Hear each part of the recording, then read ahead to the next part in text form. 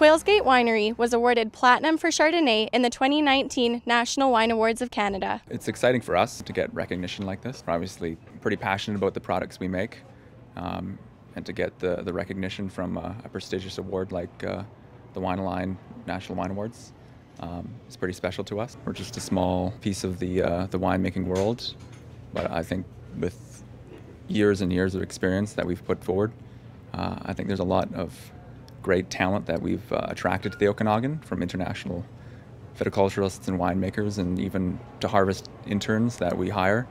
Um, we bring in eight people, and most of them are from France, Spain, Australia, New Zealand.